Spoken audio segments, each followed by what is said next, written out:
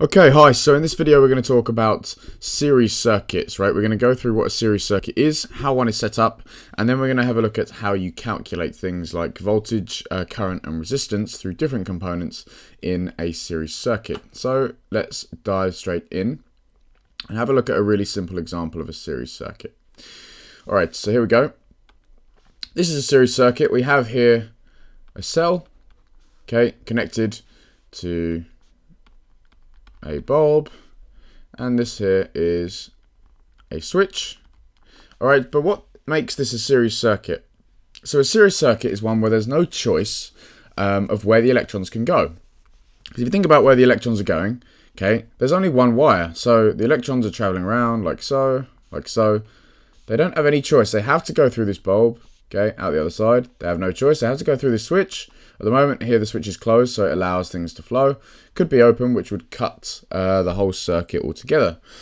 So a series circuit means that everything is connected to the same wire, all right? And when that happens, there are a few um, rules, okay? So the current, now remember the current is the flow of electrons. And if the electrons cannot choose where they go, so there's not more than one path for the electrons to go, that means that the current throughout the whole circuit is the same. Okay, so current throughout circuit is constant. Okay, and what I mean by that is that the current here is equal to the current here, is equal to the current over here, etc, etc. Alright, so the current cannot change through a series circuit, it has a fixed value. Alright, the voltage, okay, or I'm going to put in brackets here the potential difference because that's kind of more correct across a component. The voltage is normally what you talk about coming from the power supply, right? So the voltage that comes from the power supply, right, is shared between the components, which means that the potential difference across each component adds up to give the total voltage. Okay, so I'll say that PD across components Okay, in this simple circuit, we only really got one component, but uh, normally you have more. Okay, adds to give total voltage. Okay, so the potential difference across each component adds to give the total voltage, which comes from the power supply, right? Let's say, for example, in this case, right, I'm assuming you know what these are now, so I'm going to rub them out. Let's say that your cell Okay, provides 6 volts. Right, and then I put in, uh, get rid of that, get rid of that, and I put in a voltmeter across this bulb. Okay, now I know already what that voltmeter is going to read because that's the only component in this whole cell, uh, whole circuit, sorry. So all of the potential difference must be taken by this bulb, and so that must be 6 volts. Alright, because uh, the total voltage of all the components, there's only one component here, is equal to the total voltage um, provided by the power supply. Alright, also lastly, resistance. Okay, resistance of all components. Okay, just like the voltage, adds to give the total resistance total resistance. All right, so let's have a look now at a slightly more detailed um, circuit where we can do some calculations. All right, so here we go. You have here a series circuit, right, where you have two resistors, okay, placed in series. We have an ammeter here, which means we're going to read the current, right, and we have a cell which produces 9 volts um, as the voltage. Now, what I want to work out is the potential difference, okay, so the PD across each, and sorry for this handwriting, across each resistor. So I want to work out the potential difference across each resistor. Okay, first thing I need to do is think about my um, equations which relate voltage, current, and resistance. Okay, and that is V is equal to IR. Okay, voltage equals current times resistance. Now, where people get confused in these questions is they don't differentiate between the total voltage, total current, and total resistance versus the voltage across a certain component and the current through that component and the resistance of that component. Okay, they're not the same. And in a series circuit, unless you're given the uh, total current, that's what you want to work out, right? So what I'm going to say is that the voltage total is equal to the current total times by the resistance total, right? So I'm looking at this whole circuit. I'm not zoning in on one component. I'm looking at the whole circuit at the moment. So I'm going to put in some numbers. And the total voltage of that circuit must be 9 volts because that's coming from the power supply, right? So I'm going to say that 9 volts is equal to our current, our total current, right, times by our total resistance. And remember I said before that resistance is additive through a series circuit. So it's the sum of all the resistances of all the components. If I have a look, I have a 6 ohm resistor and a 3 ohm resistor, right? And so I'd say that 6 ohms, okay, I'll just do it up here, 6 ohms plus 3 ohms gives me 9 ohms as my total resistance, right? So I'm going to put that in as 9. All right. And let's get rid of that. So 9 volts is equal to current times by 9, obviously. And if I rearrange, I divide both sides by 9, I get that 1 is equal to the current. Okay? And so the current is therefore equal to 1 amp. Alright? And so that's my total current. Now, why did I do that? Well, remember I said that the current stays constant throughout the entire circuit, right?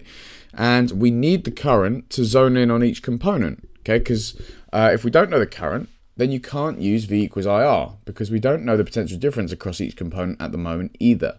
Okay, so you need the total current in order to do calculations in a series circuit.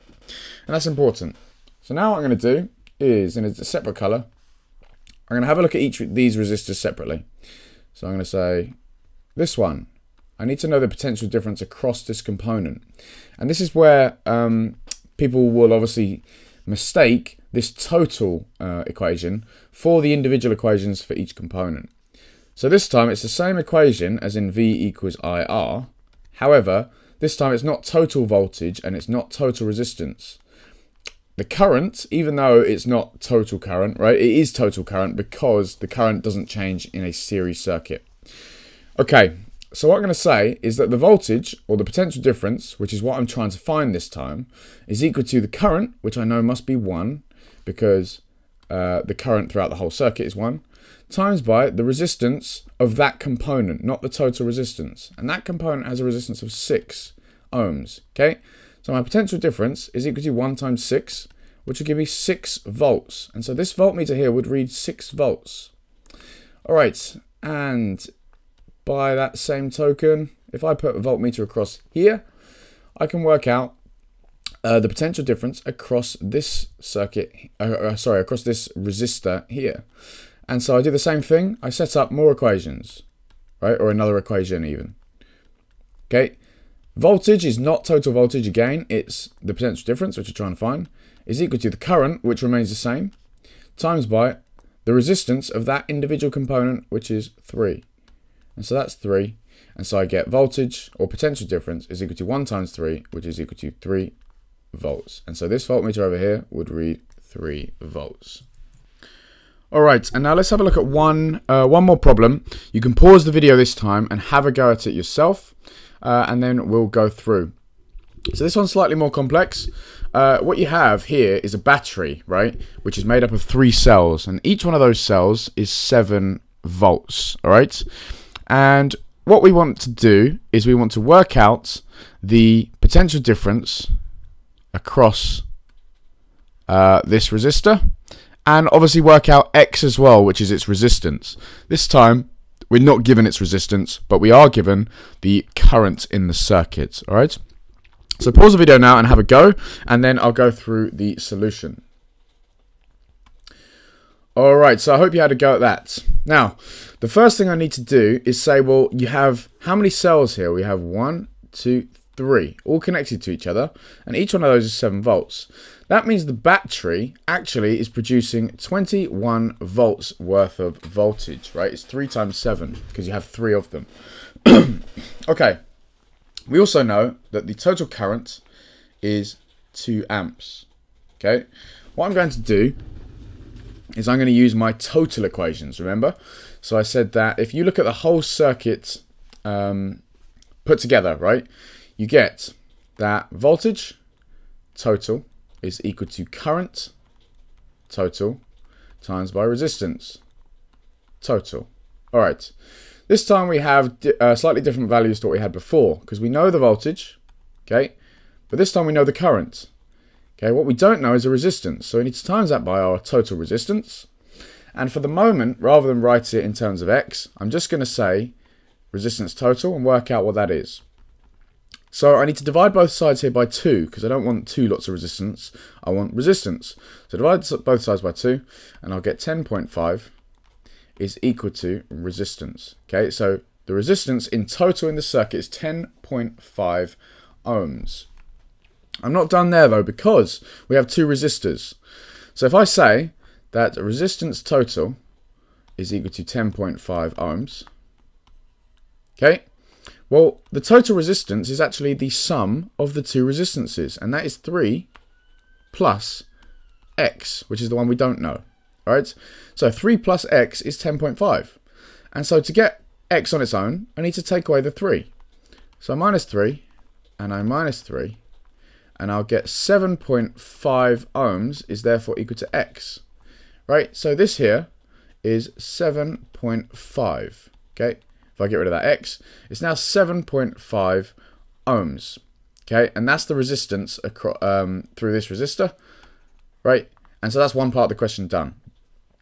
Finally, what I want to work out is the total potential difference, or not the total, sorry, the actual potential difference across that resistor. So now I use V equals IR again. So V equals IR. But remember, this time it's not total values. So what I don't know this time is the voltage because the voltage is obviously shared between those two resistors and I only care about one of them. So voltage equals current. Now that's what does stay constant. So it's 2 times by the individual resistance across that resistor, which is 7.5. Okay, what I just calculated.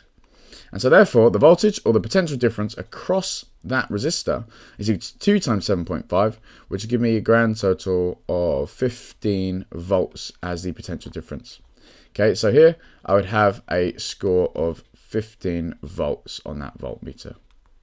Alright, and that's basically it. So I'm going to stop there. There are a few examples there for you to uh, have a go at. I hope that's made sense. In the next video, we're going to have a look at the other type of circuit, which is uh, parallel circuits, right? And they can sometimes cause confusion, but as long as you remember the rules of both, then you can differentiate between series and parallel. All right, so please do feel free to ask me any questions if anything was unclear, though, by commenting um, in the box below or send me a direct email using the link in the description. But as usual, like and subscribe, please, because it does really help. And I look forward to seeing you in the next one.